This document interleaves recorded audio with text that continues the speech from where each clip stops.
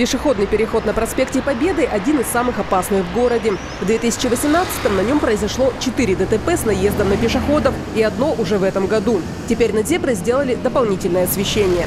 Для того, чтобы обезопасить нахождение пешеходов при переходе через проезжую часть по данному пешеходному переходу, администрацией Копейского городского округа было установлено дополнительное освещение данного нерегулируемого пешеходного перехода.